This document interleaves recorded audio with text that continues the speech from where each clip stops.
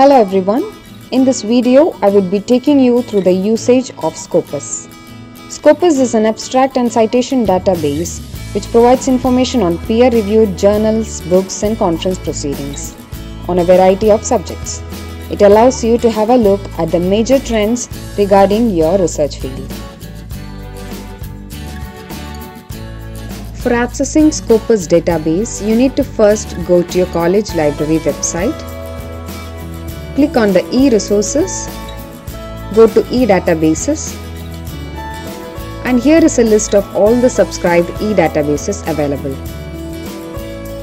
You can access the database by clicking over the link here.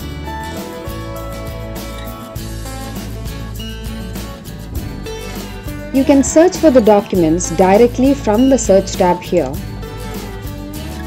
and also from the filters provided on your left hand side. You can add more search fields if you want to using the boolean operators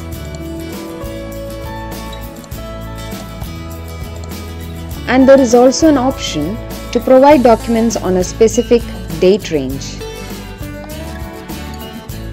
Here you need to specify your date and year range and when it is added to Scopus.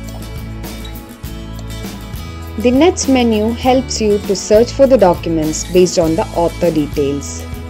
You can search using the author name, ORCID and the keywords used by the author. Here are some of the popular searches carried out in this Scopus the affiliation menu helps us to search for the documents under a particular institution.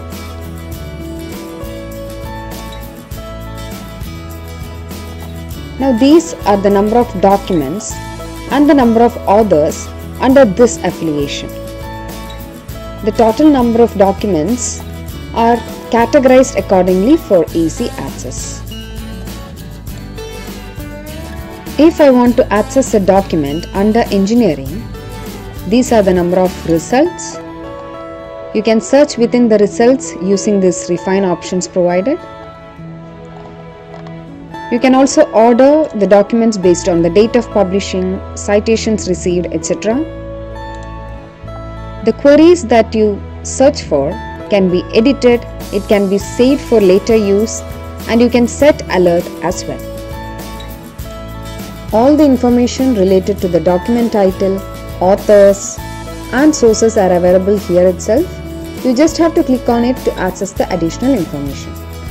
You can also view the abstract by clicking on View Abstracts or Show All Abstract option. All the information related to the document, the authors and the sources are available here itself. You just have to click on it to access the additional information.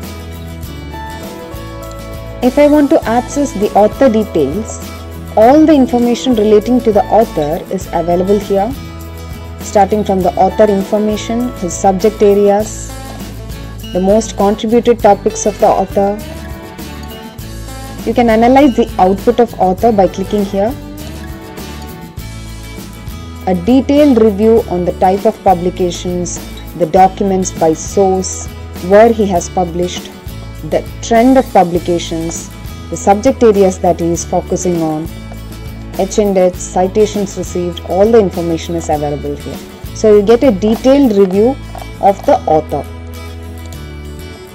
By clicking on the sources menu, you will get information about all the journals, books, conference proceedings indexed in Scopus. You can also further categorize it based on the year. You can search for a source based on quartiles. Quartile reflects the demand for the journal by the scientific community. Lastly, Scopus provides research discovery where you can find and connect with researchers from around the globe.